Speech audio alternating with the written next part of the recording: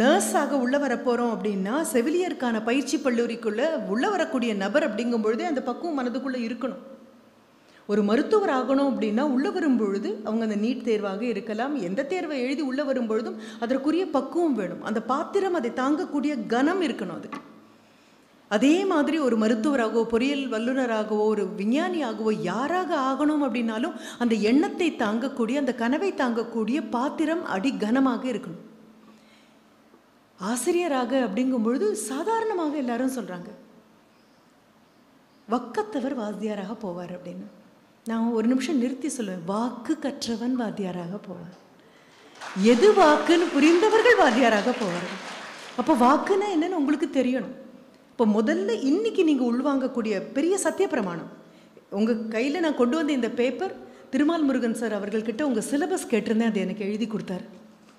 ஏன்னா அது பார்க்கணும் நம்ம. என்ன உங்களுக்கு சிலபஸாக பரிந்துரை செய்யப்பட்டிருக்கு? ஓராண்டு காலம் பிஎட் படித்த மாணவர்களுக்குள்ளே நாங்கள் எல்லாரும் வருவோம். ரெகுலர் பிஎட் ரெகுலர் எம்எட் உள்ளுக்கு போகும்பொழுதே எங்களுடைய ஆசிரியர்கள் முதல் நாள் உள்ளே வந்தபோது சொன்னது உன்னால் இதை தூக்க முடியாதுன்னா இப்போவே விட்டுட்டு இறங்கிடுன்னு சொன்னாங்க. நான் சொல்லக்கூடியது ஆயிரத்தி தொள்ளாயிரத்தி எண்பத்து எண்பது எண்பத்தி ஒன்று. உள்ளே வந்த அடுத்த நிமிடம் எங்களுடைய முதல்வர் சொன்னது ஆசிரியர் அப்படிங்கிற பொறுப்பை உன்னால் தோளில் தோக்க முடியாது அப்படின்னா இப்போவே இங்கேருந்து போயிடுங்க. ஒரு மருத்துவர்கிட்ட சொல்கிற மாதிரி சொன்னாங்க.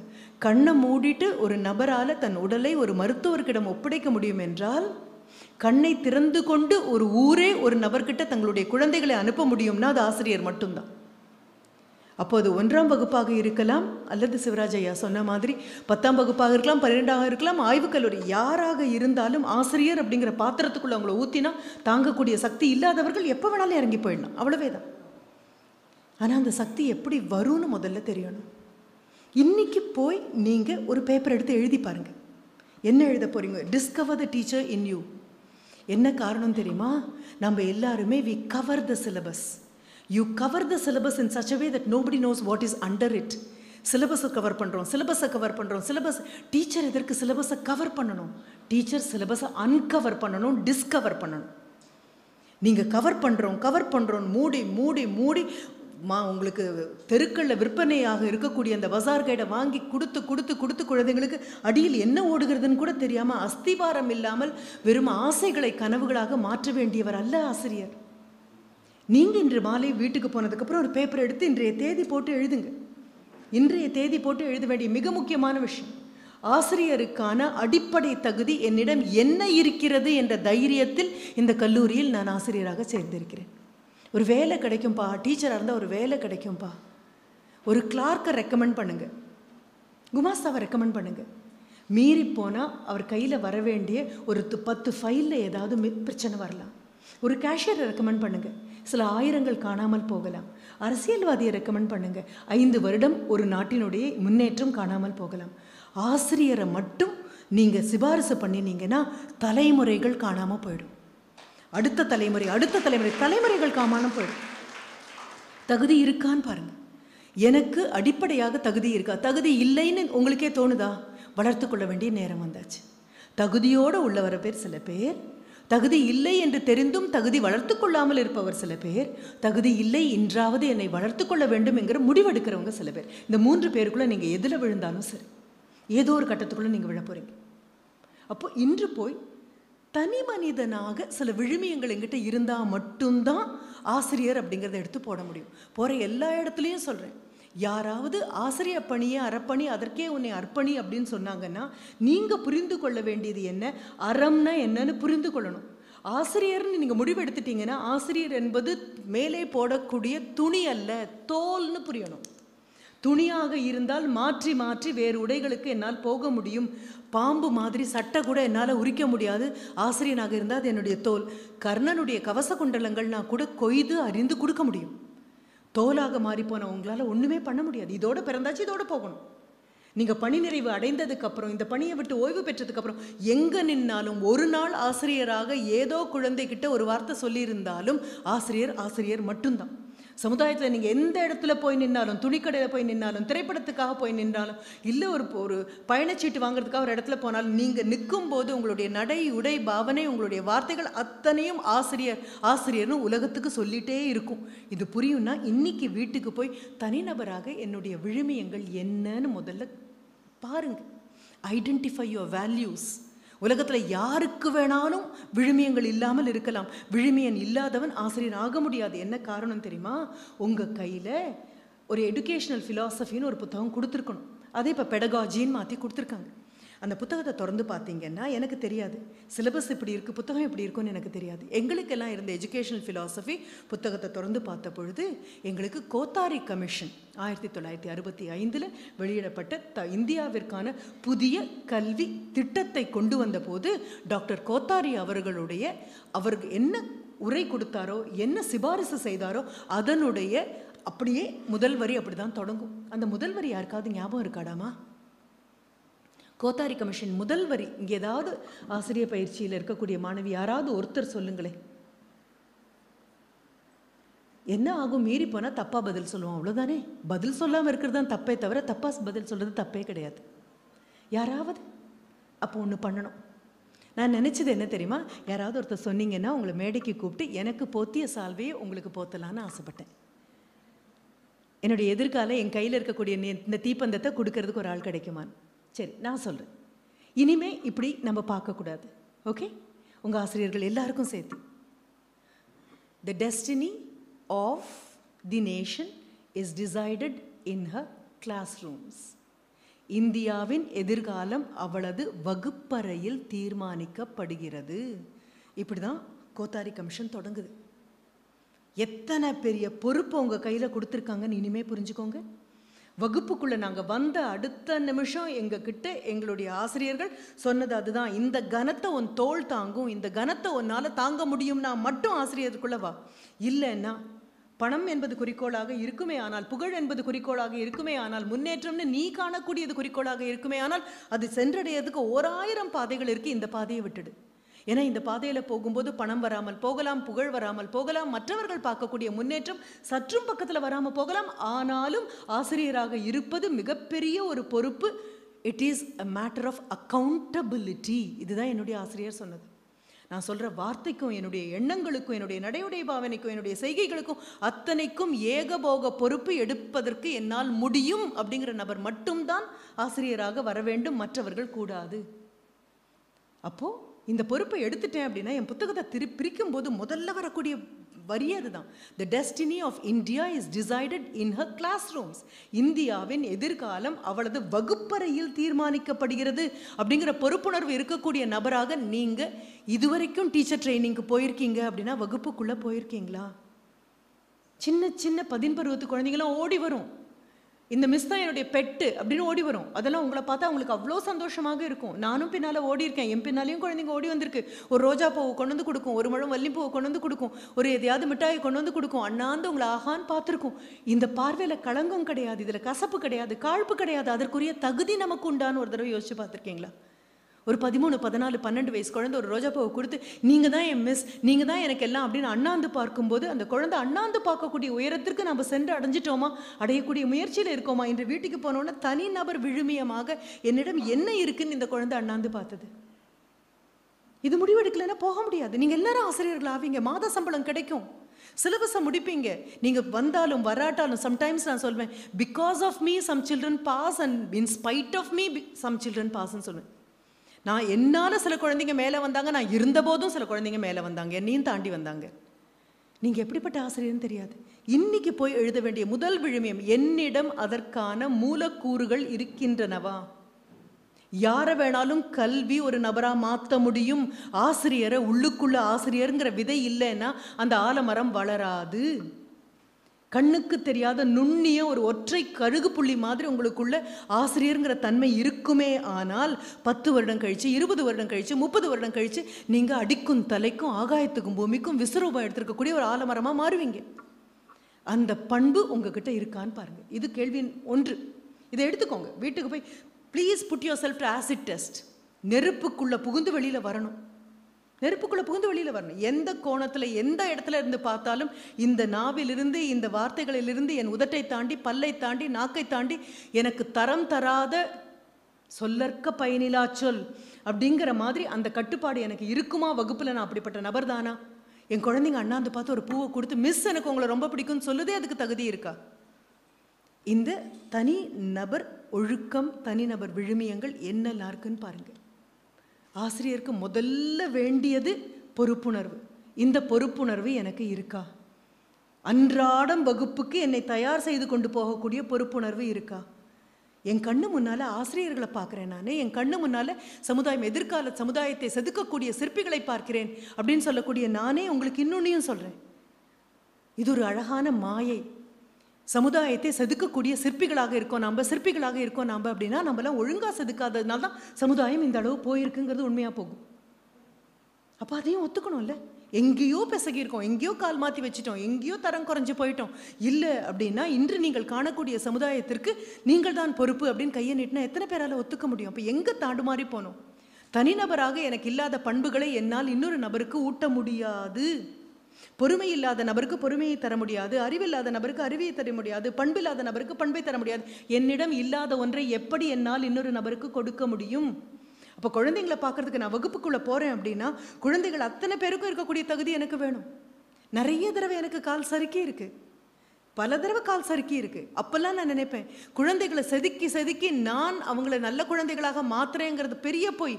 சாதாரண கல்லாக வகுப்புக்குள்ள முதல் நாள் போன என்ன செதுக்கி செதுக்கி செதுக்கி முப்பத்தைந்து ஆண்டுகளில் ஆசிரியராக என் குழந்தைங்க மாத்துனாங்க. அது புரிஞ்சு ஆஹா இப்பத்தான் நம்ம ஆசிரியர் ஆயிருக்கோம் நிறைய நிமிர்ந்து பார்க்கறதுக்குள்ள பணி நிறைவு வந்துடுச்சு அவ்வளோதான் செதுக்குனாங்க.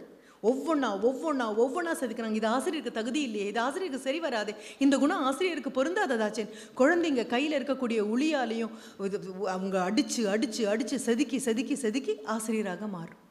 அப்போ முதல்ல தலைக்குள்ளேருந்து போக வேண்டியது ஃபஸ்ட்டு பண்பு கர்வம் இல்லாமல் இருக்குது ஆ நான் பெரிய ஆள். நான் எம்ஏ பண்ணியிருக்கேன் நான் பிஎட் பண்ணியிருக்கேன் நான் எம்எஸ்சி பண்ணியிருக்கேன் நான் பிஎட் பண்ணியிருக்கேன் நான் முனைவர் பட்டம். இது அத்தனையும் கரைஞ்சு காணாமல் வகுப்புக்குள்ளே இருக்கக்கூடிய சின்ன குழந்தை முன்னால் போயிடும் ஒத்த கேள்வியில். எனக்கு ஆயிருக்கு இந்த அனுபவம். ஒன்பதாம் வகுப்பு இதே மாதிரி. ஒன்பதாம் வகுப்புக்கு போய் வகுப்பெடுங்க அப்படின்னு சொன்னபோது பதினொன்றாம் வகுப்பு கையில் கொடுக்க மாட்டாங்க. பதினொன்றாம் வகுப்பு வர வரைக்கும் ஒன்பதாம் வகுப்புக்கு போய் எடுங்க. MA BEd first gold medalist எல்லாம் தான் நினப்பு தோல் தாங்காத நினப்பு மிகப்பெரிய கர்வம் மிகப்பெரிய பெருமை. போயாச்சு மதிய நேரம்.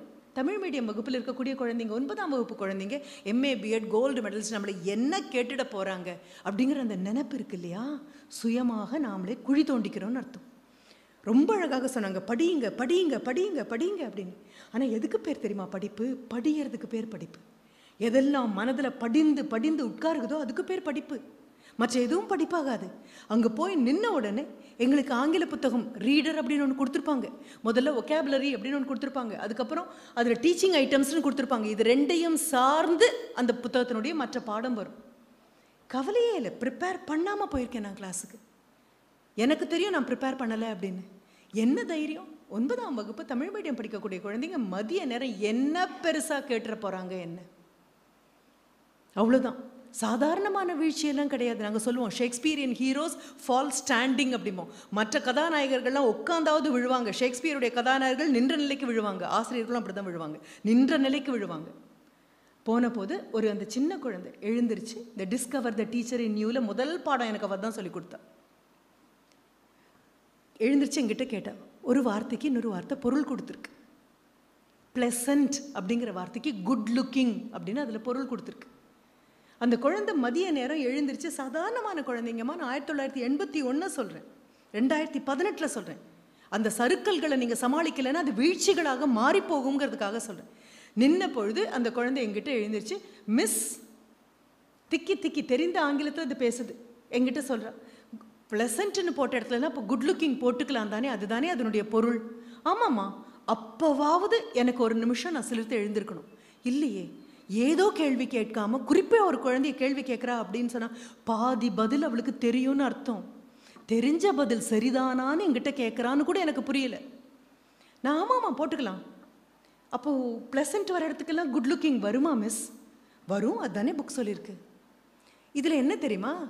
நம்மளை கொண்டாடுறதுக்கு ஒரு பத்து குழந்தைங்க உட்காந்துருக்குமா தயவு செஞ்சு அந்த குழந்தைங்கள விட்டு விலகி நில்லுங்க. ஏன்னா நீங்கள் என்ன பண்ணினாலும் உங்களை அந்த குழந்தைங்க கொண்டாடும். ஆனு வாயை பிளந்து பார்க்கறத தவிர வேறு எதுவும் பண்ணாது அது வகுப்பில். பெரிய போதையே அந்த குழந்தைங்க தான். அந்த குழந்தைங்களே பார்த்துட்டு இருந்தீங்கன்னா உருப்படவே மாட்டீங்க நீங்கள் அந்த குழந்தைங்க நீங்கள் என்ன பேசினாலும் பேசாட்டாலும் கொட்டாவி விட்டால் கூட உங்களை அண்ணாந்து பார்க்கும். அந்த போதை தான் டீச்சர்கள் தலையை கிருகிருக்க வைக்கும். நான் இதை சொன்ன அடுத்த நிமிஷம் முன்னால் ஒரு பத்து குழந்தைங்க அவ்வளோ சந்தோஷமாக என்னை பார்த்து ஆஹா நீ எவ்வளோ அழகாக பதில் சொல்கிறேன்னு பார்த்தாங்க. அவ்வளோதான். பாரதியார் சொல்கிற மாதிரி அப்படியே போதை தலைக்கு நின்று படியிலன தெளியும் பைத்தியம்னாரு. அந்த குழந்தை ஒன்றும் கேட்கல I hate a pleasant journey அப்படிங்கிற இடத்துல இது போட முடியுமா miss I had a good looking ஜேர்னிலாம் எழுத முடியாது. அவ்வளோதான் படித்த படிப்பு வாங்கின மெடல் நின்ன நினப்பு அத்தனையும் மத்தியானம் ஒன்றரை மணிலேருந்து ஒன்றே முக்காலுக்குள்ளே ஆயிரத்தி தொள்ளாயிரத்தி எண்பத்தி ஒன்று ஒரு செப்டம்பர் மாதம் தலை அடித்து செதறி செதறுகாயா போன நிமிஷம் அதுதான். வெளியில் வரும்போது நான் ஒத்துக்கிட்டேன். தகப்பன் சாமிகள் வகுப்பில் இருக்காங்கன்னு ஒத்துக்கிட்டேன். ஆசிரியர் தலைக்கு அந்த கர்வம் போகக்கூடாதுன்னு ஒத்துக்கிட்டேன். ஒன்றாம் வகுப்புக்கு நீ வகுப்பெடுக்க போகணும்னாலும் அதற்கு தயார் செய்யாமல் போகாதேன்னு ஒத்துக்கிட்டேன். திரும்பி வந்ததுக்கப்புறம் ரொம்ப நேரம் ஆச்சு எனக்கு என்னை மன்னிக்கிறதுக்கு. ரொம்ப நேரம் ஆச்சு அந்த உடஞ்சு போன பிம்பங்களை மறுபடியும் கோத்து எடுக்கிறதுக்கு உங்ககிட்ட நான் சொல்லக்கூடிய மிகப்பெரிய விண்ணப்பம். என்ன பெரிய படிப்பு படித்திருந்தாலும் பொறுப்புணர்வு வரும்பொழுது தயார் நிலைக்கு ஒரு ஆசிரியர் தன்னை கொண்டு போக வேண்டும். வகுப்புக்குள்ளே நீங்கள் போய் டோன்ட் வாண்ட் கிளாஸ் மிஸ் அப்படின்னு குழந்தைங்க கத்துனாலும் அந்த நாற்பத்தஞ்சு நிமிஷத்தை நான் என்ன பண்ண போகிறேன்னு ஓரளவு ஒத்திக பார்க்கல அப்படின்னா திரும்பி வரும்போது உங்களுக்கு நீங்களே பதில் சொல்ல வேண்டும். ஒரு மொபைல் கோர்ட் தெய்வம் உள்ளே வச்சுருக்கான் ஒரு நீதிமன்றத்தை இங்கே வச்சுருக்கான். அவ்வளவே தான் இது எனக்கு எவ்வளோ பெரிய படிப்பு? பெரிய சந்தோஷம் என்னவாக இருந்தது தெரியுமா? அப்பாடா. தொடங்கும் போதே தடுக்கி அடித்து விழுந்தாச்சு. இனி வைக்கிற ஒவ்வொரு காலும் பார்த்து பார்த்து வைப்பேன். அவ்வளோதான் இது முப்பத்தஞ்சு வருஷம் முடிஞ்சு வெளியில் வரும்போது விழுந்திருந்தேன்னா முட்டாளாவே அத்தனை பையனும் போயிருக்குமே. ஒரு குழந்தை சுள்ளுன்னு வச்ச அடியில் நிமிந்தாச்சு. சரி அதுக்கப்புறம் ஆங்கிலம். வகுப்புக்குள்ளே போனோம் அப்படின்னா குழந்தைங்க யாருக்கும் ஆங்கிலம் இருக்கிற விஷயமே தெரியாது. நான் சொல்கிறது மட்டும்தான் ஆங்கிலம். அப்போ பொறுப்பு இன்னும் அதிகமாச்சு. பதினோராம் வகுப்பில் போய் உட்காந்து அவங்கள ஆல்ஃபபெட் எழுதுமா? இருபத்தாறு எழுத்து இருக்கு எழுதுங்க அப்படின்னா ஒரு குழந்தைக்கு இருபத்தஞ்சு தான் வருது. ஒன்று காணும். நான் அப்பவும் தேடுறேன் ஐயோ நாம படிக்கும்போது இருந்தது இப்போ எங்கடா காணும்?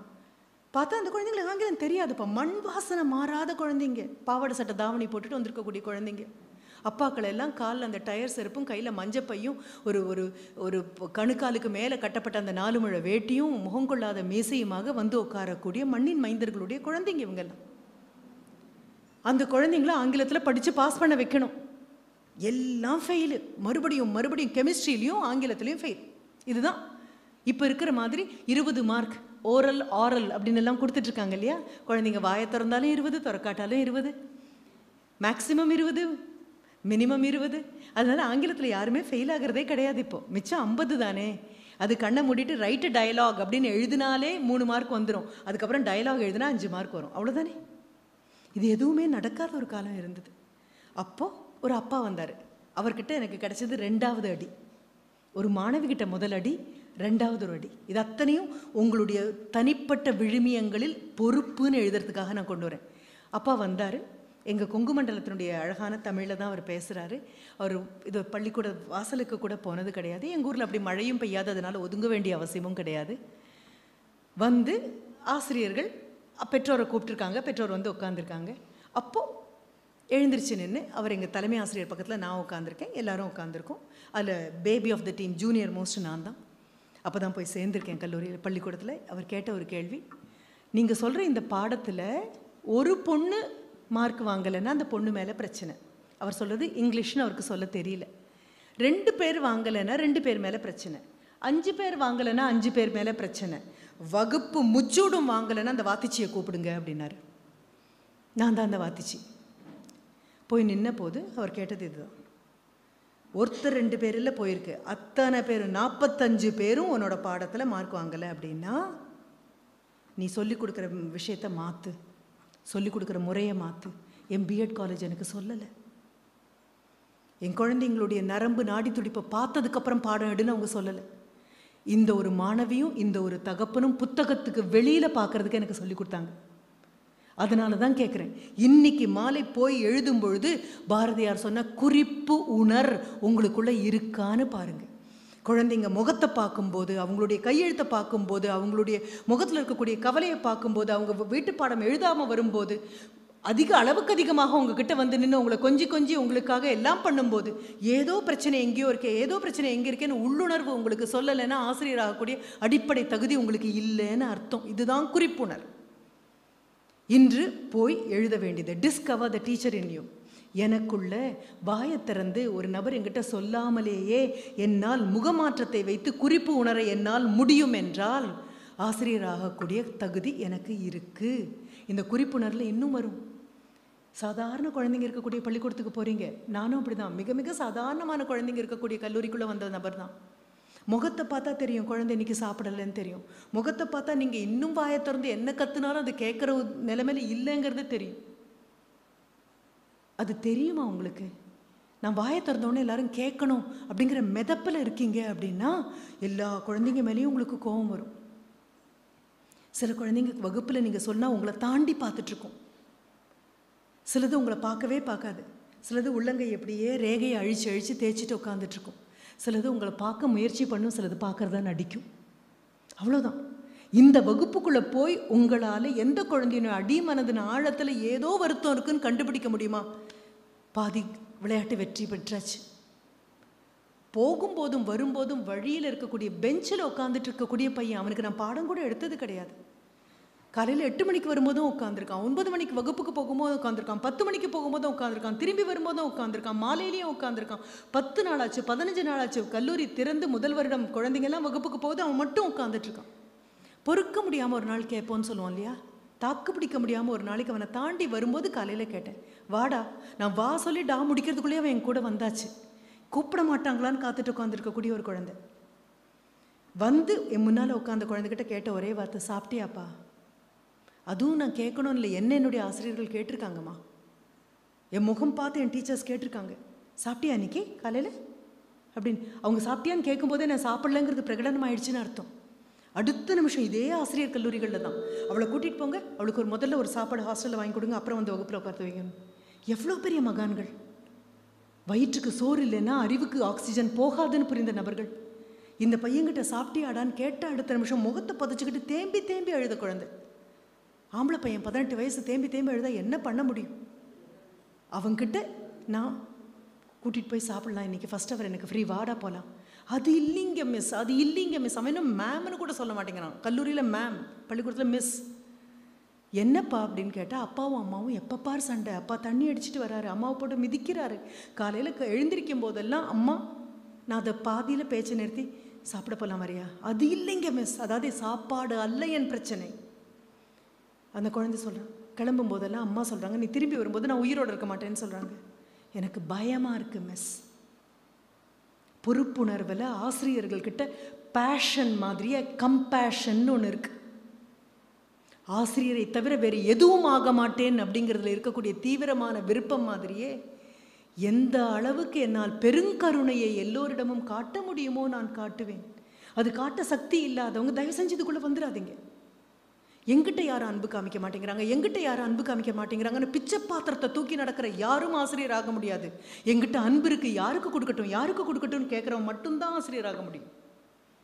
பெருங்கருணை இல்லாத நபர்களால் ஆசிரியர் ஆக முடியாது. ஒரு நீதிபதி கூட தவறு செய்தவனை தண்டிக்கணும் தவறு செய்யலைன்னா விடுதலைன்னு சொல்லுவார். படைச்சவனும் ஆசிரியரும் மட்டும்தான் தவறு செய்தாலும் பரவாயில்ல விடு அடுத்த கால் ஒழுங்காவேன்னு சொல்கிற ஒரே ஆட்கள். அம்மா கூட விட்டுடுவா அம்மா கூட விட்டுடுவான் முடியுமா? அந்த பெருங்கருணை உங்களுக்கு இருக்கா? உங்களுடைய கண்டிப்பில் காழ்ப்பும் கசப்பும் வன்மமும் இல்லாமல் இருக்கா? உங்களுடைய தண்டனைகள் தனிநபருக்கு கொடுக்கக்கூடிய தாக்குதல் இல்லாமல் திருத்தத்திற்காக இருக்கக்கூடியதாக இருக்கா? அப்படி இருக்குமே ஆனால் அந்த குறிப்பு உங்களால் உணர முடியும். முகம் பார்த்த அடுத்த நிமிஷம் தெரியும் இந்த குழந்தைக்கு பிரச்சனை அப்படின்னு. ஒன்றும் பெரிய வார்த்தையெல்லாம் சொல்ல வேண்டாம்ப்பா. வீட் வகுப்பு வாசலில் ஒரு ஆசிரியர் நிறுத்தி வச்சுருக்காங்க. அந்த குழந்தை தலையை குமிஞ்சிட்டு நின்றுருக்கு. அடுத்த வகுப்புக்கு நீங்கள் போகும்போது தாழ்வாரத்தில் அந்த குழந்தைய பார்க்குறீங்களா? தோலை ஒரு பிடி பிடிச்சி இனிமே வெளியில் நிற்கக்கூடாது எந்த ஆசிரியர் நிறுத்துனாங்களோ அவங்க உனக்காக கை தட்டுற அளவுக்கு நீ வரணும். சரியா? அப்படின்னு அவங்க காதில் மட்டும் கேட்குற மாதிரி ரகசியமாக சொல்லிட்டு போங்க. அந்த குழந்தை நாளைக்கு வளர்ந்து பெரிய ஆள் ஆகும்போதும் படுக்கும்போதும் எழுந்திருக்கும் போதும் உங்களை நினச்சிக்கும். அந்த பெருங்கருணை இருக்கான்னு பாருங்க. அது இருந்தால் ஆசிரியர். சாப்பாடு இல்லாமல் வர குழந்தைங்க ஓராயிரம் பேர் இருக்காங்க. முதல் நாள் ராத்திரி வேலைக்கு போய் அடுத்த நாள் காலையில் வேலைக்கு போய் பத்து ரூபாய்க்கு சாப்பாடு வாங்கி சாப்பிடக்கூடிய என்னுடைய குழந்தைங்கள எனக்கு தெரியும். நான் சொல்லுவேன் எனக்கு கொஞ்சம் வாங்கிட்டு வராது எப்படி இருக்குது டேஸ்ட்டுன்னு பார்க்கணும். அப்பா த தண்ணி அடிக்கக்கூடிய மிகப்பெரிய குடிகாரராக இருக்க அம்மா தனது கற்பு நிலையிலிருந்து தடம் புரண்டு போய் வகுப்பில் வந்து என் குழந்தை என் முன்னால் தேம்பி தேம்பி அழுத ஆண் குழந்தைகளுக்கு ஆசிரியர்னா சாதாரண பொறுப்பு இல்லைம்மா. யார் சொன்னாங்க சிலபஸ் முடிக்கிறதுன்னு சொல்லி? யார் சொன்னாங்க இரநூறுக்கு இரநூறு வாங்க வைக்கிறதுன்னு சொல்லி? இதெல்லாம் வெறும் மைல்கல் தான். ஆசிரியர் எடுக்கக்கூடிய நெடும் பயணத்தின் வழியில் சிலபஸ் முடிக்கிறதுன்னு ஒரு மைல்கல் நிற்கும். இரநூறுக்கு இரநூறுன்னு ஒரு மைல்கல் நிற்கும். கோல்டு மெடல்னு ஒரு மைல்கல் நிற்கும். ஆனால் மைல்கல்லோட யாராவது பயணத்தை நிறுத்துவாங்களா என்ன? நாம் போக வேண்டிய இலக்கு வேற இல்லை. ஒரு மனிதனை மனிதனாக வார்த்து கொடுக்க போகிறீங்க அப்போ நான் மனிதனானு இன்னைக்கு என்னை போய் பார்த்துக்க போகிறேன் அக்னி பிரவேசம் பண்ண போகிறேன் நெருப்புக்குள்ளே இறங்கி பார்க்க போகிறேன் என்ன காரணம்? பெட்ரான் ரசல் ரொம்ப அழகாக ஃபங்க்ஷன்ஸ் ஆஃப் அ டீச்சர் போய் தேடி எடுத்து படிங்க. ஃபங்க்ஷன்ஸ் ஆஃப் அ டீச்சர் அதில் அவர் என்ன சொல்வார் தெரியுமா? ஒரு ஆசிரியர் செய்ய வேண்டிய வேலைகள்னு போட்ட லிஸ்ட்டில் அவர் முதல்ல சொல்லக்கூடியது the defence of a country நாட்டினுடைய பாதுகாப்பு is not in the hands of its armed forces alone it's in the hands of its teachers also அப்படிம்பார். வெளியே எல்லைக்காவலுக்காக நிற்கக்கூடிய படை வீரர்கள் கையில் மட்டுமல்ல நாட்டின் பாதுகாப்பு. அதனுடைய ஆசிரியர்கள் கையில் இருக்கிறது. எத்தனை பேர் உணர்ந்திருக்கீங்கம்மா? எத்தனை பேர் you are all soldiers in civilian க்ளோதிங்னு உணர்ந்திருக்கீங்க? எல்லையில் யூனிஃபார்ம் போட்டுட்டு போய் நிற்கக்கூடிய இராணுவ வீரனை மாற்று உடையாக சாதாரண உடையில் நான் சமுதாயத்தின் இராணுவ வீரன் எல்லையை காப்பாற்ற வேண்டிய அவர்கள் பொறுப்பு எத்தனை உத்தமமானதோ அதே அளவு உத்தமமானது வகுப்பில் இருக்கக்கூடிய என்னுடைய குழந்தைகளை நான் காப்பாற்றி கொண்டு போவது. அந்த உணர்வு வரலை அந்த பொறுப்பு வரலை அப்படின்னா விட்டு வெளியில் போயிடலாம். யாருக்கு வேணாலும் அந்த பொறுப்பு இல்லாமல் இருக்க முடியும். உங்களுக்கு அதற்கான உரிமையே கிடையாது. உங்களுக்கு அதற்கான உரிமை கிடையாது. நீங்கள் ஒரு வகுப்புக்குள்ளே போயிட்டு வந்திருக்கீங்க அப்படின்னு சொன்னால் உங்கள் குழந்தைங்கக்கிட்ட அந்த அடையாளம் தெரியணும். அந்த அடையாளம் தெரியணும். அந்த முகத்தில் தெரியணும். நீங்கள் போயிட்டு வந்ததுக்கப்புறம் அந்த ரூமில் குப்பை இருக்கக்கூடாது. நீங்கள் போயிட்டு வந்ததுக்கப்புறம் சேர் பெஞ்செல்லாம் கோண கோணையாக இருக்கக்கூடாது. அவ்வளோ இந்த நீங்கள் வாயை விட்டு சொல்ல வேண்டாம். ரெண்டு நாளைக்கு கோணையாக இருக்க டேபிளை சரி பண்ணி வச்சுட்டு போனீங்கன்னா மூணாவது நாளைக்கு குழந்தைங்க நீங்கள் என்ன பண்ணீங்களோ அதையே பண்ணி சொல்லணும் திரு சிவராஜ் ஐயா கிட்ட நான் பேசும்போது சொன்னேன் நான் யாருடைய ஸ்டூடெண்ட் தெரியுமா சார்? அப்படின்னு கேட்டேன். தாய் தகப்பன் they give an initial biological initial a teacher gives an academic initial பத்து மாதம் சுமந்து எடுத்து கொடுத்தா போதும் அம்மாவுக்கு. அதுக்கப்புறம் அம்மாவுக்கு ஆசைகள் தான். படிக்க வச்சா போதும் அப்பாவுக்கு. ஆனால் தன் தோளை விட்டு ஒரு நாளும் தன் மாணவனை இறக்கி விடாமல் இருக்கக்கூடிய ஒரு நபர் உண்டுனா அது ஆசிரியர் மட்டும்தான். அதற்குரிய சக்தி இல்லைன்னா வரக்கூடாது. அதற்குரிய சக்தி இல்லைன்னா வரக்கூடாது. படைப்பவர்கள் தான் நாம். அப்போது the defence of a country is in the hands of its teachers அன்றாடம் சுவாச காற்று மாதிரி தேசபக்தியை பற்றி பேசக்கூடிய நபரா நீங்கள் அன்றாடம் சுவாச காசும் காத்து மாதிரி உங்களுடைய மொழிப்பற்ற வளர்க்கக்கூடிய நபரா நீங்கள் தமிழ்தாய் வாழ்த்து திருத்தமாக பாடக்கூடிய நபரா நீங்கள் இல்லை வெறும் கேசட்டு போட்டால் வாயை கூட அசைக்காமல் எப்போ பாட்ட முடியும்னு காத்துட்ருக்கிற நபரா நீங்கள் அப்படின்னா நீங்கள் ஆசிரியர் ஆகக்கூடாது நீராறும் கடலுடுத்த புத்தகத்தில் சிலபஸ் எங்கே தொடங்குதுன்னு நினைக்கிறீங்க?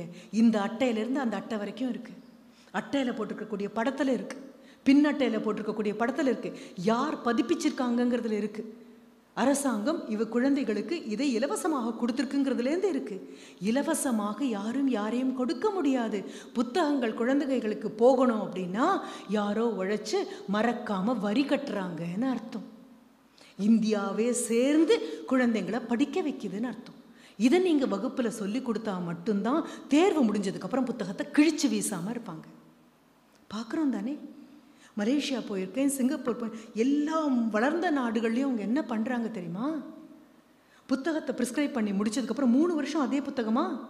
இந்த வருடம் பயன்படுத்தின குழந்தைங்க அதை சிதைக்காமல் அதுக்கு காது நாய்க்காது மாதிரி மடிக்காமல் பத்திரமாக பேரக்கூட அதில் எழுதாமல் திருத்தமாக அழகாக பையில் வைக்கணும் பெற்றோர்கள் அதை பார்க்கணும் புத்தகம் காணாமல் போச்சுன்னா உங்களுடைய பேன் கார்டு காணாமல் போன மாதிரி ஆதார் கார்டு காணாமல் போன மாதிரி போலீஸ் கம்ப்ளைண்ட் கொடுக்க வேண்டிய அளவுக்கு பெரிய விஷயம் அது.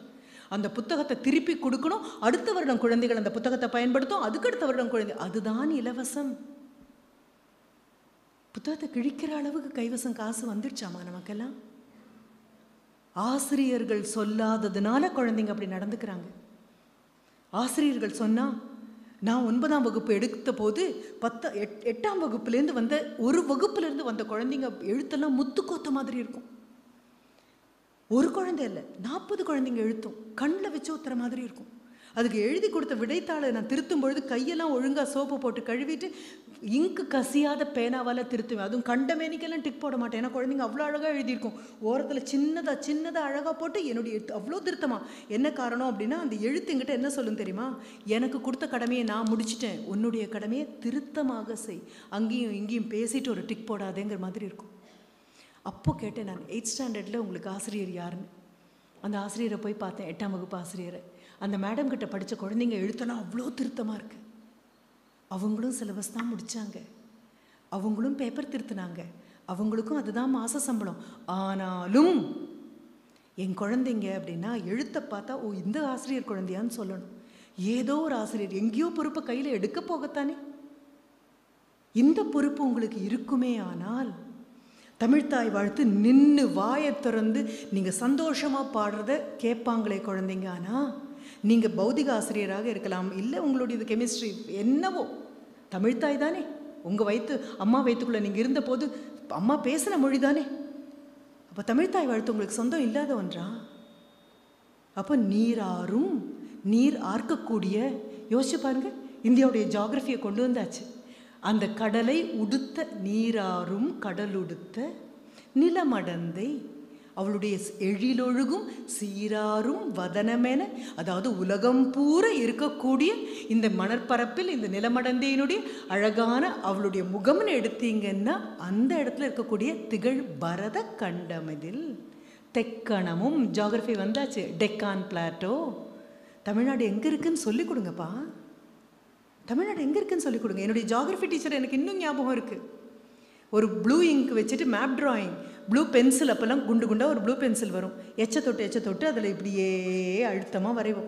அப்போ நல்ல அடர்த்தியாக நீல கலரை அப்படியே அந்த ஓடோடு அப்படியே ஓரத்தில் ஒட்டி போட்டுகிட்டே போகிறேன் Arabian Sea Bay of Bengal கீழே ஒரு இந்தியன் ஓஷன் அவ்வளவு நிமிந்து கூட பார்க்கல.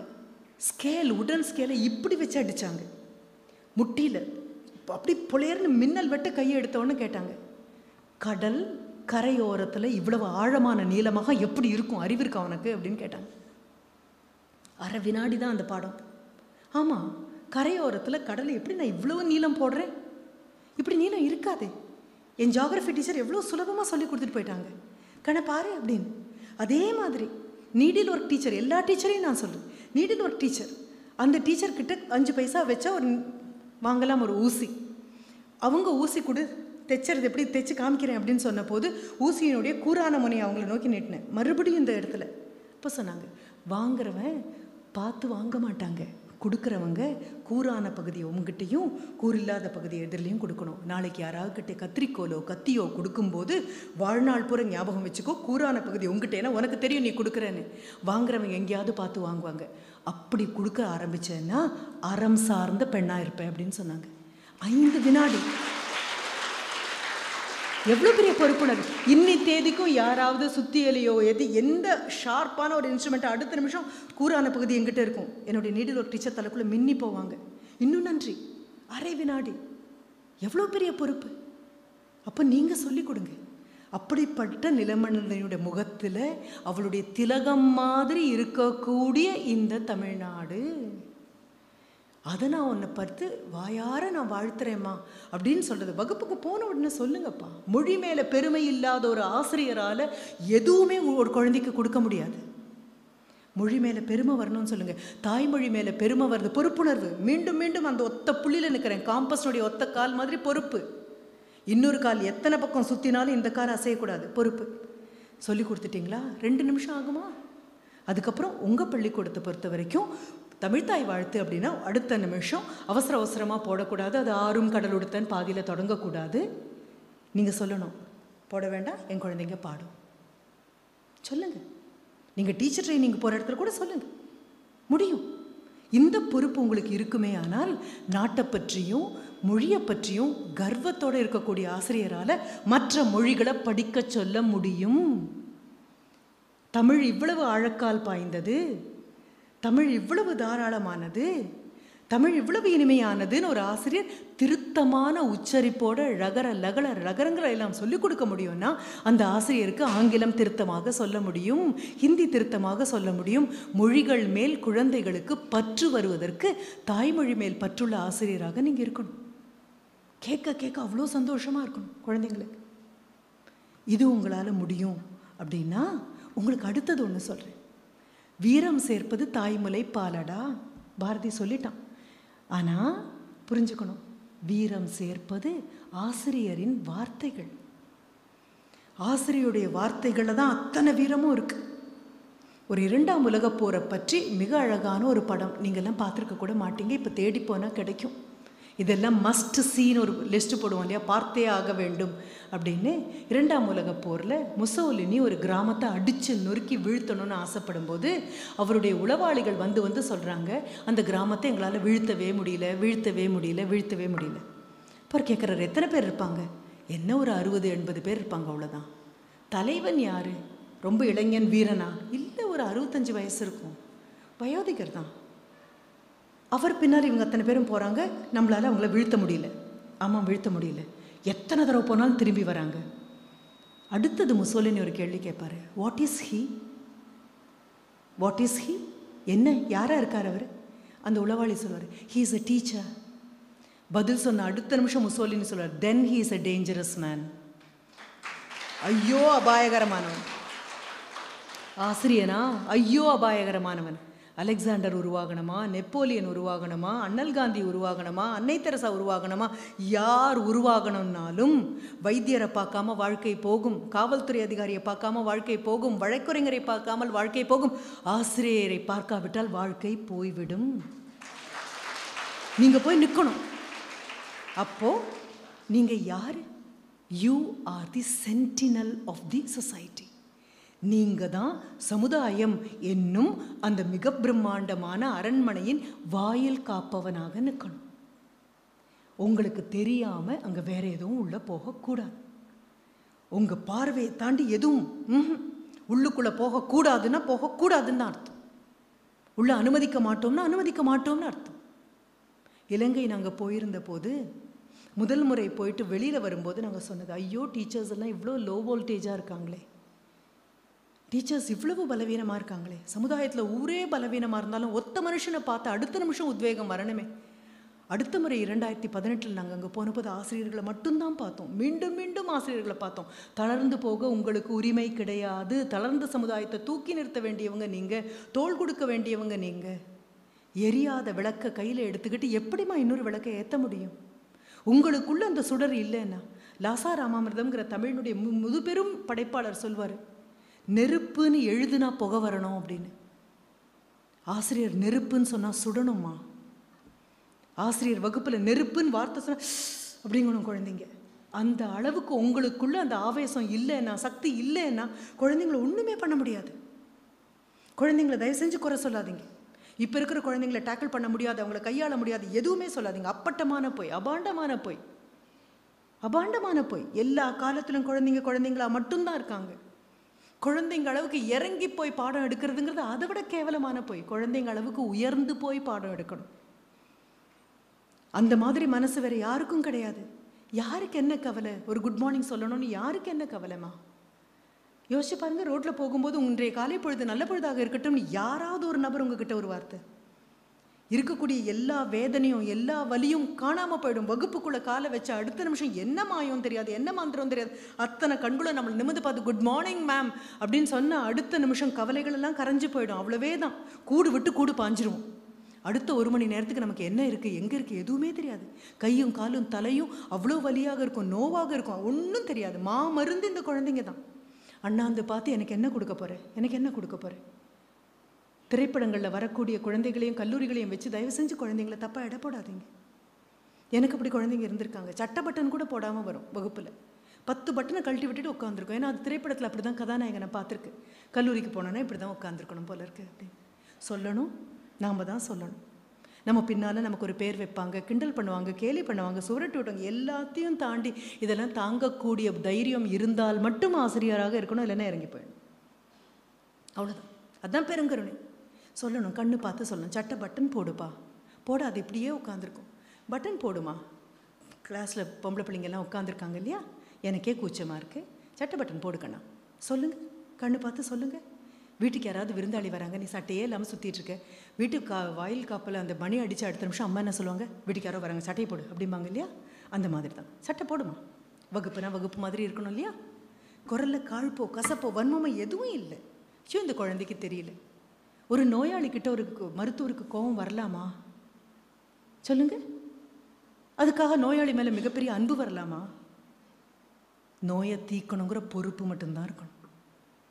நோயாளி மேலே அன்பும் கிடையாது நோயாளி மேலே வெறுப்பும் கிடையாது. அந்த நோயிலிருந்து அவங்கள காப்பாற்றணும் அறியாமைங்கிற நோயிலிருந்து இந்த குழந்தையை காப்பாற்றக்கூடிய வைத்தியன் நான். எனக்கு இந்த குழந்தை மேலே காழ்ப்பு இல்லை கசப்பு இல்லை எதுவும் இல்லை. குழந்தையுடைய அறியாமையை நகர்த்தணும். அவ்வளவே தான் ஐயோ என்ன கிளாஸ் எடுக்கிறீங்க மிஸ் கிளாஸ் எடுக்கணும்ப்பா சினிமாலாம் கிளாஸே எடுக்க மாட்டாங்க மேம் அப்போ சொல்லணும் சினிமாவில் மட்டும்தான் அப்படி ஒரு வகுப்பு வரும். வகுப்பே எடுக்காத ஒரு வகுப்பு வரும். நாங்கள் எங்கே வகுப்பு எடுப்போம்? பரீட்சை இருக்கும். வா போகலாம் வா.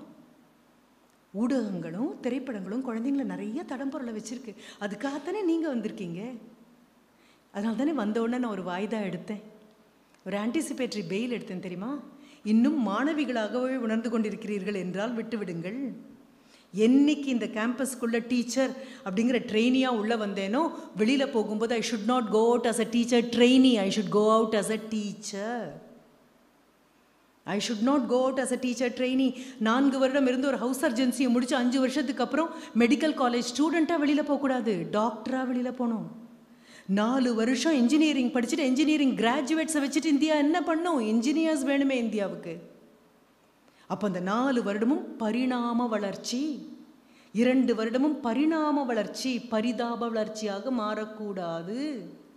சாதாரண ஒரு கிராஜுவேட்டாக உள்ளே வந்திருக்கீங்க. செதுக்கி செதுக்கி செதுக்கி இங்கே செதுக்கிறதுக்கு ஆள் இல்லைன்னா உளிய கையில் நீங்கள் எடுத்துக்கோங்க. சுத்தியலை கையில் நீங்கள் எடுத்துக்கோங்க. உங்களை நீங்களே செதுக்கிக்கோங்க.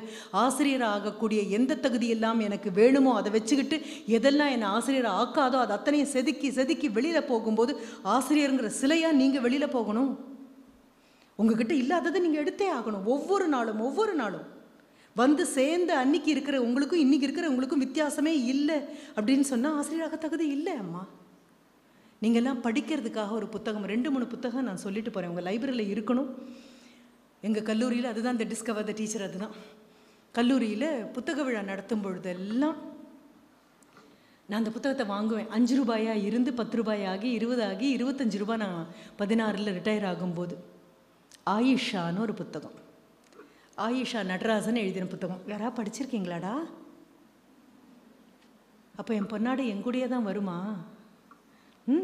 என் பொன்னாடை ஏதாவது ஒரு தோளுக்கு போகும்னு பார்த்தேனே. சரி இப்போ இருபத்தஞ்சிலேருந்து முப்பது ரூபாய் இருக்கும். அதை எழுதின நபரே ஆயிஷா நடராஜன் அவருக்கு பேர். யாருடையது இந்த வகுப்பறை அப்படிங்கிற அவர் அடுத்த புத்தகம் வகுப்பறை மாணவர்களுக்கு சொந்தம். சரியா? இந்த ஆயிஷா. சின்ன குழந்தை. நீங்கள் பார்ப்பீங்க அப்படி ஒரு குழந்தைய. ஒரு எட்டாம் வகுப்போ ஒன்பதாம் வகுப்போ படிக்கக்கூடிய சாதாரண குழந்தை. பத்து பேர் நடுவில் உட்காந்து ஆள் அடையாளமே தெரியாமல் கரைஞ்சு காணாமல் போயிடுவான் திரையுலக நட்சத்திரங்கள் மாதிரியெல்லாம் தோற்றப்பொலிவோடெல்லாம் இருக்காது. என்ன காரணம் தெரியுமா? ஆர்டினரினஸ் இஸ் தி எக்ஸ்ட்ராடினரினஸ்னு புரிஞ்சுக்கோங்க. சாதாரணமாக இருப்பது தான் அசாதாரணம்னு புரிஞ்சுக்கோங்க. மாறு வேறுபட்டு இருக்கணும் வேறுபட்டு இருக்கணும் வேறுபட்டு இருக்கணும்னு முயற்சி பண்ணுறவங்களுக்கு நடுவில் இயல்பாக இருக்கிறவன் தான்ப்பா வேறுபட்டவன். அந்த ஒரு குழந்தை. ஒரு மதிய நேரம். அந்த ஆசிரியர் ஐந்தாறு வருடங்களாக பௌதிகம் எடுத்துட்டு இருக்காங்க ஒன்பதாம் வகுப்புக்கு. அவங்களுக்கே சலிச்சு போச்சு. பள்ளி விடுதியினுடைய காப்பாளராக வேற இருக்காங்க. திருமணம் ஆனதுக்கப்புறம் வேற எங்கேயாவது போயிடலாம். கண்ணை மூடிட்டு பாடம் எடுப்பாங்க. ஒரு குழந்தை கூட எழுந்திருச்சு கேள்வி கேட்க போகிறதில்ல இந்த கேள்வியே கேட்காத குழந்தைங்க இருக்கக்கூடிய வகுப்பு கிடைச்ச ஆசிரியர் போல சபிக்கப்பட்ட ஆசிரியர் யாருமே கிடையாது. பார்க்கறதுக்கு வரம் மாதிரி இருக்கும். ஆனால் பெரிய சாபம் அது. நம்ம படிக்கவே மாட்டோமே. யாரும் கேள்வியே கேட்க போகிறது இல்லையே அந்த ஆசிரியர் சாதாரணமாக வகுப்புக்கு போய் அன்றைக்கி என்ன எடுத்துகிட்டு இருப்பாங்கன்னா காந்தம் பற்றி எடுத்துகிட்டு இருப்பாங்க. காந்தம் பற்றி எடுக்கும்போது சொல்லியாச்சு. இதான் ஆறு வருஷமாக சிலபஸும் மாறல. அவங்க அதையே உருப்போட்டு உருப்போட்டு உருப்போட்டு பிஎஸ்சி ஃபிசிக்ஸ் பண்ணும்போது அவங்களுடைய கனவுகள் வேறு ஆசிரியர் ஆனதுக்கப்புறம் கனவுகள் எல்லாம் மாறி போனது வேறு. அப்படியே போர்டில் எப்பவும் போல் மெக்கானிக்கல் அதுவும் மதிய நேரம் பாதி குழந்தைங்க அறத்தூக்கத்தில் இருக்கும். ஒரு குழந்தை எழுந்திருச்சு அவங்கள மிஸ் அப்படின்ன உடனே அவள் பக்கத்தில் இருக்கிறவங்களாம் அவளை பாவாடையை பிடிச்சி எடுத்து உட்கார உட்கார் உட்கார அப்படிம்பாங்க. என்ன வாந்தி வருதா? இதுதான் உங்களுடைய கேள்வியாக இருக்கும். நம்ம எல்லாம் அப்படி தானே கேட்போம். ஒரு குழந்தை எழுந்திருச்சு நின்று மிஸ்னாலே என்ன வாந்தி வருதா? போ. இல்லைங்க மிஸ் சந்தேகம். அவ்வளோதான் அதிர்ந்து போகிற டீச்சர் என்ன? அப்படின்னு கேட்ட உடனே ஆசிரியர் சொல்கிறாங்க எதிர் துருவங்கள் எப்படி இருக்கும்? ஒன்றை ஒன்று ஈர்க்கும். ஒரே போன்ற துருவங்கள். Repel like poles repel unlike poles attract opposite poles இதை சொல்லி கொடுத்துருக்காங்க அந்த ஆசிரியர். இப்போ அந்த குழந்தை எழுந்திரிச்சு கேட்குறா அந்த ஒரு மேக்னெட் அந்த பார் மேக்னெட்னு சொல்லக்கூடிய அந்த அந்த காந்தம் ரெண்டாக உடஞ்சா என்ன ஆகும் ரெண்டாக உடஞ்சா இங்கே ரெண்டு துருவம் அங்கே ரெண்டு துருவம். எல்லாரும் அந்த ஆசிரியர் சொன்ன உடனே எல்லாம் கைத்தட்டி சிரிக்கிறதுக்கு ஒரு பத்து குழந்தைங்க இருக்கும் இல்லையா? அந்த ஆசிரியருடைய சறுக்கல் குழிகள் அந்த குழிகள் எல்லாம் கைத்தட்டி சிரித்த உடனே இந்த ஆசிரியருக்கு ரொம்ப பெருமை. அந்த குழந்தைய மடக்கிட்டாங்களாம். ஒரு பதிமூணு வயசு குழந்தைய ஒரு இருபத்தஞ்சி இருபத்தெட்டு வயசு ஆசிரியர் மடக்கினோடனே ஒரு கர்வமாக ஒரு புன்னகை குழந்தை அது இல்லை மிஸ் அப்படிங்க பின்ன என்ன? குழந்தை ரொம்ப அழகாக சொல்லுவாள் இது மறுபடியும் துண்டாக உடச்சி உடச்சி உடச்சி உடச்சி உடச்சி இரண்டு துருவங்களும் ஒற்றை புள்ளியில் வந்து நிற்கிற மாதிரி பண்ணீங்கன்னா எது எதிர்க்கும் எது ஈர்க்கும்னு தெரியணும் மிஸ் அவ்வளோதான் டீச்சருக்கு இதுவரைக்கும் இப்படி ஒரு குழந்தை கிடைக்கல. நான் அதில் தமிழில் கொடுத்துருக்கேன் உனக்குள்ள ஆசிரியரை கண்டறி அப்படின்னு. உங்களுக்குள்ளே இருக்கக்கூடிய ஆசிரியரை கண்டறிவதற்கு யார் உதவுவாங்க தெரியுமா? உங்களுடைய மாணவர்கள் உதவுவாங்க. ஐயோ இப்படி ஒரு குழந்தை கிடைக்கிறதுக்காகத்தானே இத்தனை வருஷம் நான் காத்துட்டு இருந்தேன் அப்படிங்கிற மாதிரி. வெளியில் வராங்க. வெளியில் வந்த உடனே அந்த குழந்தை துரத்திட்டு வருது. நல்ல காலத்துக்கு பெல் அடிச்சாச்சு. டீச்சர் பதில் சொல்ல வேண்டாம். அப்பாடா. அடுத்த நாள் ஒன்றா அந்த பொண்ணு வராது. இல்லைன்னா நாம் வர மாட்டோம் இல்லை அந்த நேரம் வேறு யாராவது வந்து ஃபங்க்ஷன் போயிடும். அவ்வளோதான் குழந்தை கூடவே ஓடி வரா. பதில் சொல்லுங்க மிஸ் மிஸ் பதில் சொல்லுங்க மிஸ் மிஸ் பதில் சொல்லுங்க மிஸ் எனக்கு அடுத்த வகுப்பு இருக்குது காரிடார் பூரா ஓடி வரா. கையில் ஒரு புத்தகம். அங்கே இருக்கக்கூடிய ஒரு நூலகத்துலேருந்து அந்த புத்தகம் எடுத்திருக்கா. அதை பிரித்து காமிக்கிறா. எல்லாம் இங்கிலீஷில் இருக்குது கோடு கோடு கோடு கோடாக போட்டு வச்சு கேள்வி கோரி போட்டுகிட்டே வந்திருக்கா. இதில் புரியலை மிஸ் எனக்கு இது புரியலை. அடுத்தது அவளே சொல்கிறா இரண்டு காந்தங்களை கொண்டு வந்து கொண்டு வந்து இரண்டு துருவங்களும் ஒற்றை புள்ளியில் வந்து நிற்கிற மாதிரி இருந்தால் ஒருவேளை சூரியனை சுற்றி தங்களுடைய பாதையை விட்டு விலகாமல் கிரகங்கள் எல்லாம் போகிறது இந்த ஈர்ப்பு சக்தியினால் தானோ எதிர்ப்பும் ஈர்ப்பும் ஒன்றாக ஒரு புள்ளியில் வந்ததோ அதுதான் இந்த ஆர்பிட்டாக இருக்குமா மேம் மிஸ் அதுவா மிஸ் டீச்சர் இது வரைக்கும் யோசிச்சு கூட பார்த்ததில்லை. நாம் யாரையும் யோசிச்சு கூட பார்த்ததில்லை. அப்போது ஆசிரியர் எங்கேருந்து இந்த புக்கு லோக்கல் லைப்ரரியிலேருந்து எடுத்தேன். இது புரியவே இல்லை மிஸ் நீங்கள் தமிழில் எழுதலாம் தானே? அதுக்கெல்லாம் யாருக்கு நேரம்? குழந்தை மறுபடியும் கேட்குறா உங்களுக்கு தெரியும் விஞ்ஞானம் தெரியும் ஆங்கிலமும் தெரியும். நீங்கள் தமிழில் எழுதலாம். அன்னைக்கு தொடங்குறாங்க அந்த டீச்சர். எத்தனை கேள்வி கேட்குறா விடுதி வாசலில் வந்து உட்காந்துக்கிட்டு அவங்ககிட்ட கேள்வி. அவகிட்ட ஒரு தோல் பை இருக்கும். அந்த தோல் பைக்குள்ளே ஒரு ஒரு தெர்மாமீட்டர் வச்சுருப்பா ஒரு பேரோமீட்டர் வச்சுருப்பா. என்னெல்லாம் அவங்களுடைய ரசாயன கூடத்தில் இருக்குமோ அதெல்லாம் இருக்கும். ஒரு பேட்டரி இருக்கும். என்னெல்லாமோ வச்சுட்டுப்பா மொபைல் லெபார்ட்ரி அவகிட்ட. ஆசிரியர்கிட்ட கேட்பா இ உடம்புக்கு போடுறதுக்கும் ஒரு சோப்பு தான் அழுக்கு போகிறதுக்கு துணிக்கு போடுறதுக்கும் சோப்பு தான் அழுக்கு போகிறதுக்கு இது ரெண்டும் ஏன் ரெண்டு விதமாக வித்தியாசமாக இருக்குது அவங்க நினைப்பாங்க எப்படி உன் தலைக்குள்ளேருந்து இப்படி கேள்விகள் வருது? கேள்வி கேள்வி கேள்வி கேள்வி. ஆனால் ஸ்டாஃப் ரூமுக்கு போய் உட்காந்தா எல்லா டீச்சர்களும் திட்டுவாங்க. இன்னைக்கு ஒரு சத்தியப்பிரமாணம் எடுத்துக்கோங்க. எந்த காரணம் கொண்டும் ஸ்டாஃப் ரூமில் குழந்தைங்களை பற்றி கேவலமாக பேசுறது இல்லைன்னு சத்தியப்பிரமாணம் எடுங்க. நம்ம எல்லாருக்கும் பொழுதுபோக்கு அதுதான். அரைச்சு அரைச்சு அரைச்சு. நம்மளை கேள்வி கேட்குற குழந்தைய நமக்கு பிடிக்காது. ஸ்டாஃப் ரூம்னா என்ன? எல்லா குழந்தைங்களையும் பற்றி கேவலமாக பேசுகிற இடம். எல்லாரும் உட்காந்து பேசுவாங்க. அந்த ஆயிஷா இருக்கால அந்த ஆயிஷா இருக்கால ஒரு நாளைக்கு தலைமை ஆசிரியருடைய அறை வெளியில் போய் நிற்கும்போது பார்த்தா அவன் நின்றுட்டுருப்பா காலில் பூரா அடியாக இருக்கும். ஒன்றும் இல்லை. பதினொன்றாம் வகுப்பு மாணவிகளுக்கெல்லாம் கணக்கு எழுதி கொடுத்துருப்பா. கணக்கு போட்டு கொடுத்துருப்பா. இன்னொரு சரித்திர ஆசிரியர் அடிச்சிருப்பாங்க. என்ன காரணம்? அப்படின்னு கேட்டால் அசோகர் கலிங்கப்போர் முடிந்தவுடன் அவரை பௌத்த மதத்துக்கு மாற்றி அந்த துறவியினுடைய பெயர் மிஸ் தெரியாதுன்னு சொல்லுவாங்க. நம்ம யாரும் யோசிச்சது இல்லைல்லம்மா நமக்கு சரித்திரம்னா என்ன? மேட்ச் த ஃபாலோயிங்கும் ஃபில் த பிளாங்க்ஸ் மட்டும்தானே? அதற்கு மேலே சரித்திரம் படித்தது இல்லையே நம்ம. அந்த குழந்தை சொல்வா உபகுப்தர்னு பேர் அவருக்கு. ஓ பதில் தெரிஞ்சுட்டே எனக்கு தெரியுமான்னு பார்க்கறதுக்காக கேட்குறியா அடி. அந்த குழந்தையுடைய சித்தி வந்திருப்பாங்க தலையில் அந்த பர்தாலாம் போட்டுட்டு. இந்த ஆயிஷாவுடைய அப்பாவும் அம்மாவும் இவ சின்னதாக இருக்கும்போதே ஒரு விபத்தில் இறந்து போயிட்டாங்க. ஒரு பத்தாம் வகுப்பு வரைக்கும் படிக்க வச்சுட்டேன்னா தாட்டிடுவேன். ஆனால் தினம் தினம் இவளால் பிரச்சனை. ஆனால் இந்த ஆசிரியருக்கு அவ்வளோ அவ்வளோ பிடிக்கும். அவங்களுடைய ஒரு நோட்டை வச்சுட்டு போய்ப்பா அதில் பிரித்து பார்த்தா ரத்தத்தால் எழுதியிருப்பா. என் தாயார் இல்லை. எனக்கு இந்த ஆசிரியர் என் தாயார் மாதிரி அன்பு காமிக்கிறாங்க அப்படின்னு. ஒரு நாளைக்கு ஸ்கூலில் நம்மெல்லாம் பார்க்கக்கூடிய ஸ்போர்ட்ஸ் டே மதிய நேரம். குழந்தைங்கெல்லாம் காலையிலே வந்துருமே. ஆசிரியர் உட்காந்து உட்காந்துருக்கும்போது ஒரு பையன் ஓடி வந்து சொல்லுவான். Miss miss miss Ayesha chemical lab chemistry லேபுக்கு அந்த பக்கம் தலை சாஞ்சபடி படுத்துட்ருக்கா ஓடுவாங்க. போய் பார்த்தா குற்றுயிரும் குலையுருமா இருக்கும் குழந்தை. பக்கத்தில் ஒரு ஜார் அதுக்குள்ளே தலை கீழே உயிரே இல்லாமல் ஒரு தவளை மிதந்துட்டுருக்கும். அரை போதையில் அந்த குழந்தை இருக்கும்.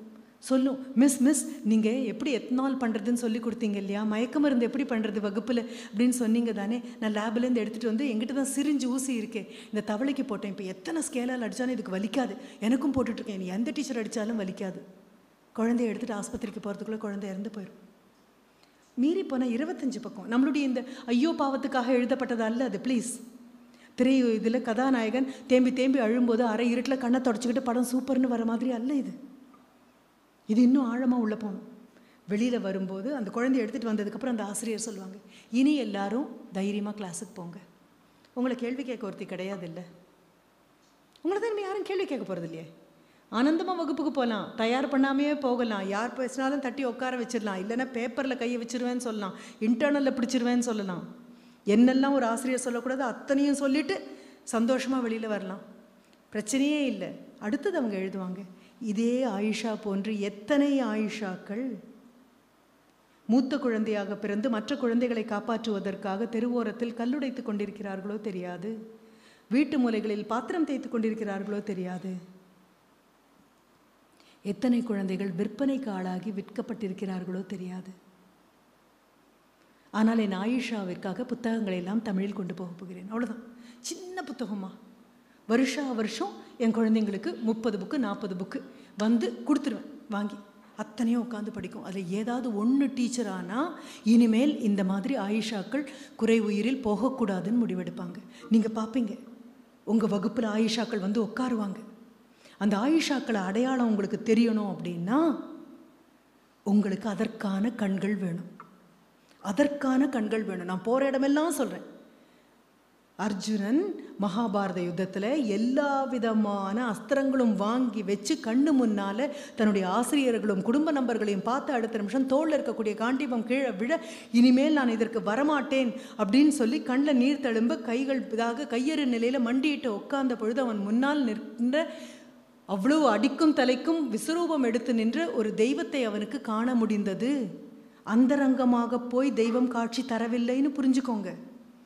அத்தனை பேர் இருக்கக்கூடிய போர்க்களத்தில் தான் தெய்வம் நிமிர்ந்து நின்று காட்சி கடுத்தது ஆனால் அந்த காட்சியை அர்ஜுனன் கண்ணுக்கு மட்டும்தான் தெரிந்ததே தவிர அங்கே நின்ற எந்த ஆச்சாரியர்கள் கண்ணுக்கும் தெரியல போர் வீரர்கள் கண்ணுக்கு தெரியல மகாரதர்கள் கண்ணுக்கு தெரியல சித்தப்பா பெரியப்பா யார் கண்ணுக்கும் தெரியல. அர்ஜுனன் கண்ணுக்கு தான் தெரிஞ்சது. வேணா திருதராஷன் கண்ணுக்கு தெரியறதுக்காக அங்கே சஞ்சயன்னு ஒருத்தனுக்கும் கிடைச்சது. அந்த கண்களுக்கு என்ன பேர் தெரியுமா? திவ்ய நேத்திரம். இறைத்தன்மை வாய்ந்த கண்கள். அந்த கண்கள் இருந்தால் மட்டும்தான் கண்ணு முன்னால் நிற்கிறது ஆண்டவன்னு அடையாளம் தெரியும். இல்லைன்னா தெரியாது. உங்களுக்கு உங்கள் வகுப்பில் உங்கள் கூட முன்னால் உட்காந்துருக்கக்கூடியதில் ஒரு விஞ்ஞானி உட்காந்துருக்கான்னு அடையாளம் தெரியணும்னா திவ்ய நேத்திரம் வேணும். ஒரு மிக உன்னதமான அரசியல்வாதி உட்காந்துருக்கான்னா திவ்ய நேத்திரம் வேணும். இன்னொரு மதர் தெரசா கண்ணு முன்னால் உருவாயிட்டு இருக்குன்னா திவ்ய நேத்திரம் வேணும்.